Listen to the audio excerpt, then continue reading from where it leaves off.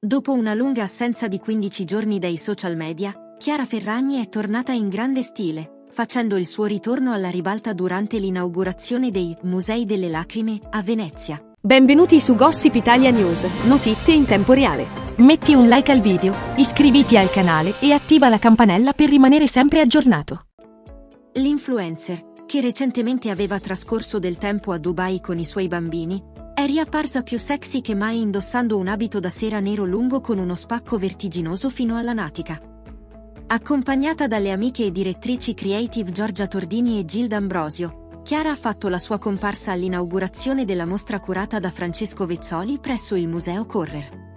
Sulla sua pagina Instagram ha condiviso foto e video in cui mostrava con orgoglio il suo outfit sensuale, provocando l'ammirazione dei suoi follower e ricevendo numerosi complimenti per la sua bellezza.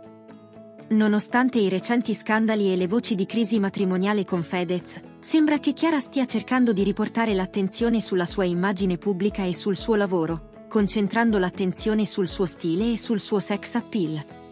Mentre lei si immerge nella cultura veneziana, Fedez è tornato a Milano per riabbracciare i loro bambini, segnando un momento di riconnessione familiare dopo un periodo di vite separate. Per un momento, tutti sembrano dimenticare le polemiche e i problemi personali, concentrandosi invece sull'energia e sulla positività di Chiara durante questa nuova fase della sua carriera. Con il suo ritorno in grande stile sui social, sembra che Chiara Ferragni sia pronta a conquistare nuovamente il cuore dei suoi fan e a lasciarsi alle spalle le lacrime del passato.